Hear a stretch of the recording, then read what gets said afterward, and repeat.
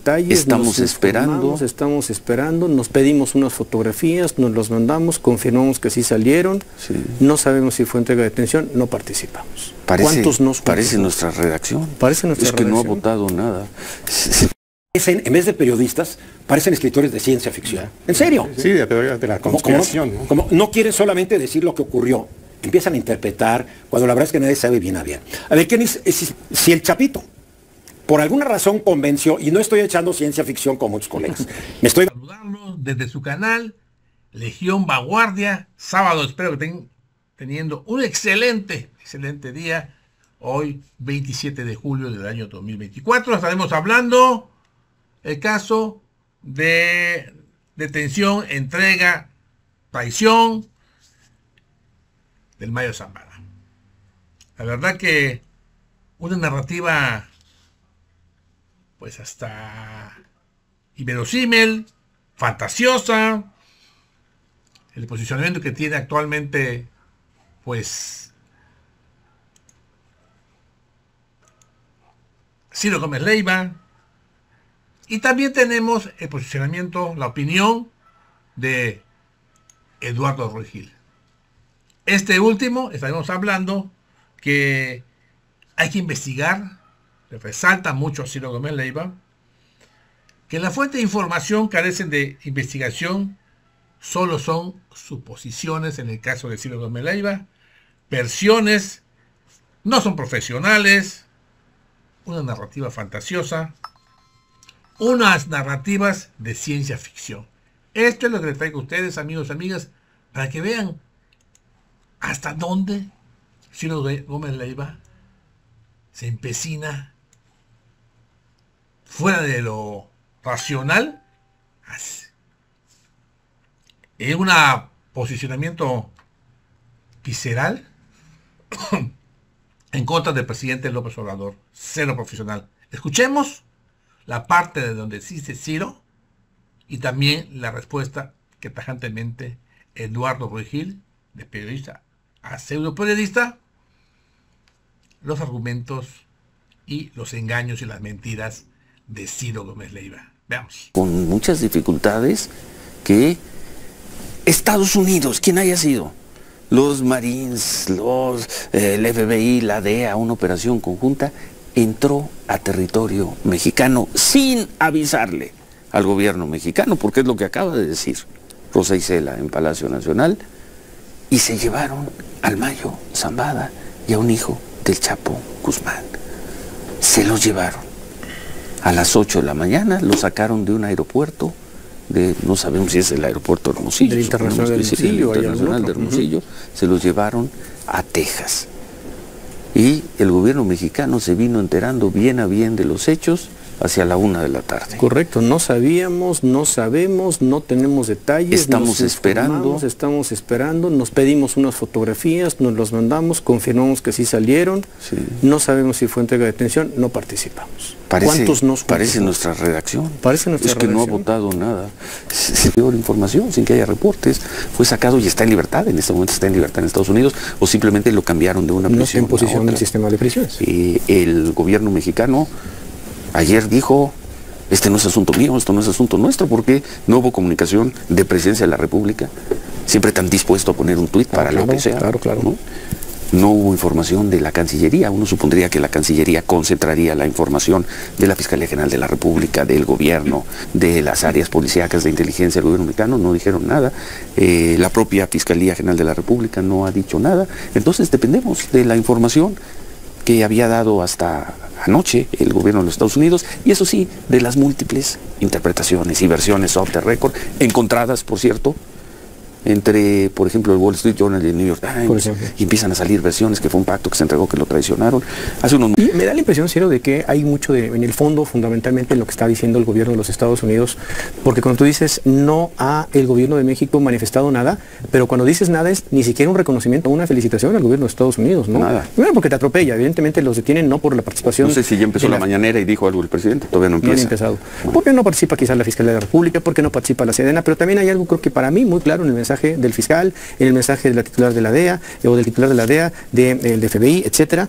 no hay un reconocimiento ni un agradecimiento a la autoridad mexicana. A mí, pues según el gobierno mexicano, así ocurrió. Según entendí, Marco, a lo mejor no escuché bien, eh, la secretaria dijo que en el avión solo iban el piloto y un pasajero. Y un tripulante, así es. Y presenta, que además no lo hace a pantalla completa, con lo cual es difícil de verificar, la lista de pasajeros y se ve una tabla, pero la verdad es que no la hace grande no alcanza a ver. Pero entonces sí iban más personas en el avión. Sí, sí, sí, sí. Que suponemos son guardias de el ejército de Estados Unidos, de la, del FBI, de la DEA, de quién sabe qué. Pero, pero bueno, eh, pues conclusión con la información que tenemos hasta el momento que puede cambiar ahora que tome la palabra el presidente López Obrador, que es capaz de desmentir todo lo que acaba de decir. No, si yo sí sabía, pero no les dije a nadie. yo que sí. Es uno, eh, las autoridades mexicanas no tuvieron nada que ver en la detención del Mayo Zambada y de un hijo del Chapo Guzmán, nada. Dos, no solo no tuvieron que ver, nadie les informó que se lo iban a llevar. Tres, si se lo llevaron fue con pleno acuerdo con el Mayo Zambada o algo que todavía no sabemos o hubo una acción de las fuerzas de seguridad de Estados Unidos en territorio mexicano para detenerlo. Eso no lo sabemos, a lo mejor sale al rato. Sí. A lo mejor sale al rato. Pero si empezamos a, hacer el, esquema elemental, uno, fue detenido en territorio mexicano. Dos, sin la participación de las autoridades mexicanas. Tres, sin conocimiento de las autoridades mexicanas. Y si fue detenido en México sin participación de las autoridades mexicanas, una de dos, o acordaron con él y nada más llegaron algunas personas de Estados Unidos y le dijeron súbase al avión. Vámonos, vámonos, vámonos, pásale. Porque aquí no lo podemos detener, allá sí, pero vámonos. O lo capturó el territorio mexicano, con la información disponible hasta ese momento. Creo que ese es el marco de posibilidades. Es correcto. Y coincide lo que estoy escuchando. Suben estos a una avioneta, una avioneta, ya sabes, de dos motores, nada chiquita, y vuelan a un lugar que se llama Santa Teresa. Santa Teresa, New Mexico, que es casi un suburbio del Paso. Y bajan y los están esperando. Los están esperando agentes de la FBI y del Departamento de Seguridad Interior de Estados Unidos. Entonces no los capturaron, se los encontraron y los arrestaron. Ahora, ¿por qué se los encontraron? De acuerdo a tres funcionarios estadounidenses actuales y anteriores que supuestamente saben del caso, pero que rehusaron ser eh, identificados, dicen de que aparentemente Joaquín Guzmán López llevó a Zambada a Estados Unidos. La palabra que usan fue atrajo a, a Zambada a Estados Unidos. Entonces hay una bola de especulaciones. En serio, cada día me, divierto más escuchando a muchos colegas nuestros en la radio y televisión, porque hubiera escuchado el analista de proceso. En, eh, en, el canal de YouTube de Proceso. Está echado toda una elucubración, que por esto ya tiene que estar temblando Calderón y tiene que estar temblando esto. O sea, ya parecen, en vez de periodistas, parecen escritores de ciencia ficción. ¿En serio? Sí, de teoría de la conspiración. Como, ¿no? quieren solamente decir lo que ocurrió, empiezan a interpretar cuando la verdad es que nadie sabe bien a bien. A ver, ¿quién es, Ismael el Mayo Zambada? ¿Qué hizo Joe Biden, el presidente saliente ahora sí de Estados Unidos? Eligió las detenciones, obviamente refrendó su compromiso de combatir el tráfico de drogas. Ah, ¿Qué puede pasar aquí? A ver, si el Chapito por alguna razón convenció, y no estoy echando ciencia ficción con muchos colegas, me estoy basando en la poca evidencia que hay. Si el Chapito convenció de alguna manera a Zambada de subirse al avión con otro destino y aterrizar en Estados Unidos, pudiera ser que entonces el Chapito traicionó al propio cártel de Sinaloa. Preguntas, ¿qué le ofreció el gobierno de Estados Unidos al Chapito para entregar al Mayo Zambada? Ahí está, amigos. La verdad que es un misterio el caso de la detención, entrega, engaño, mentira, traición del Mayo Zambada.